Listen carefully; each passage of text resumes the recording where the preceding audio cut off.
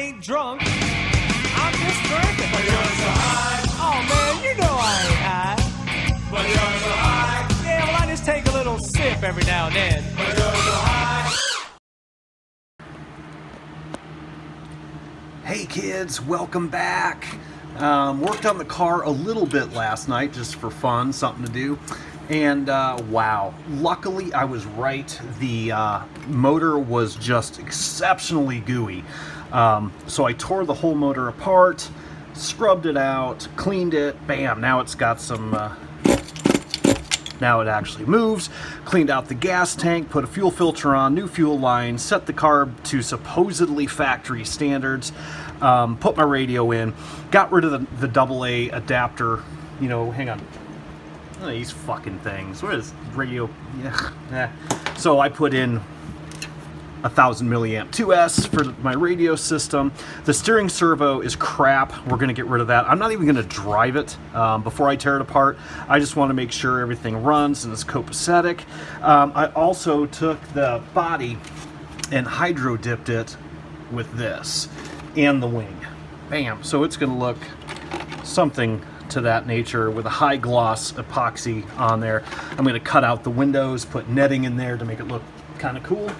Um, that's a two second deal. That's not hard to do. So, um, new gas flushed.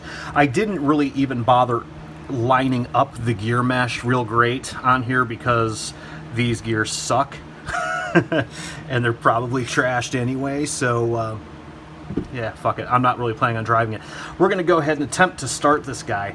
Um, I'm sur- I, I, I'm pretty sure the dude or girl, I suppose, that had this before me had absolutely no clue what the fuck they were doing. Most of the motor bolts were bolts were loose. Shit was gummed up horrible. Servos trashed. It's not trash, but it's not good. The toe in and toe out's terrible. Um, the shocks aren't even set up. I mean, it, it, it'll bottom out. You hit a well, Bardwell's PP, you're going to bottom that thing out. So, yeah, they didn't know what they were doing, which is good for us because that means it's reasonably new. I did look at the engine sleeve and piston. I did not see any nasty scarring or anything, so hopefully they broke it in right, but it doesn't look bad anyway. Um, what else did we do? That's really about it. I ordered a bunch of, uh, once I found out the motor wasn't seized up, I went ahead and ordered um, a bunch of like aluminum swing arms last night, aluminum turnbuckles, I think. Um, maybe new bearings. I honestly can't remember. I ordered kind of like a kit type of thing. So, yeah, it should work fine. So, as soon as I figure out what the hell I did with my glow igniter, I will give this thing some fire in the hole, but I don't see it. Ah, probably in the house. Be right back. All right, this helps. All right, so got the nitro in there. Um, we're to open up the carb just a little bit past a millimeter. I don't know if you can see that. I'm going to leave the radio off for now. We're going to try to start this guy um, without the radio on. I'll just use manual control. Hopefully nothing will take off and run away. Um, the bearings in the clutch are great. Thing spins like a monster. Like I said, the whole engine I tore down, cleaned up. That's ready to go.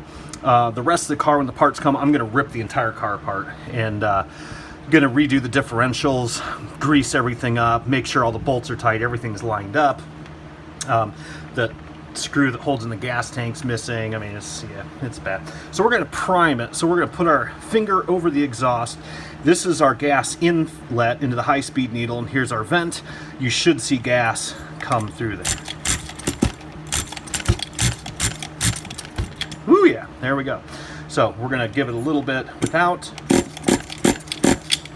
see what happens.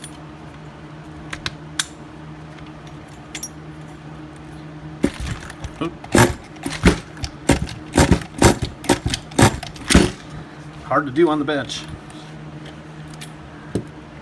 Woo! We don't want that thing taken off like that. Maybe I will turn it on. I think I flooded it. Got a lot of gas. There we go.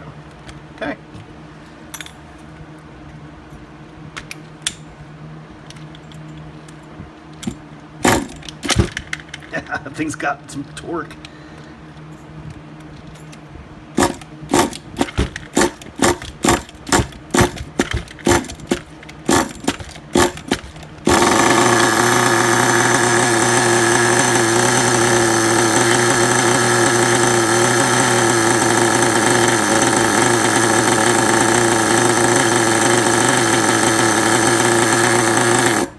Oh got to lean it out a little bit.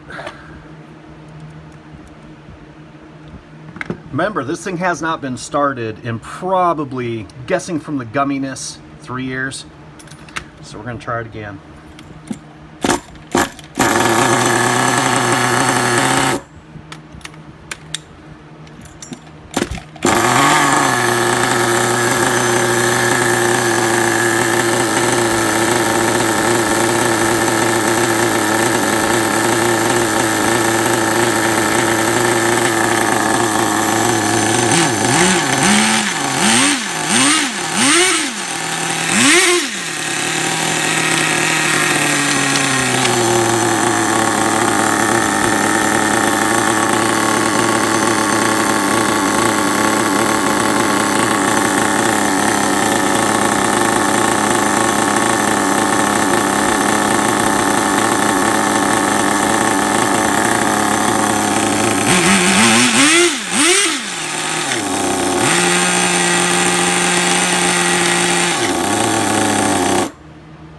And there you go. It works.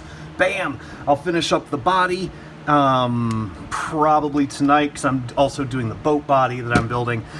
And uh, then it's just a matter of waiting for the parts. And then we'll tune everything in. Obviously, the engine needs tuned, but it's running really well. I have it set really rich, uh, which is fine. We're probably actually going to go through the break in process again just to verify because for all I know this person ran it once and never I mean the engine's immaculate the bearings are immaculate the thing's barely even dirty. So aside from a terrible setup and uh, seized motor it was uh, it's pretty much new. So we'll get the body done and next time you see this thing boom, it should be done and we'll do some FPV and some road racing with it. Uh, talk soon. Bam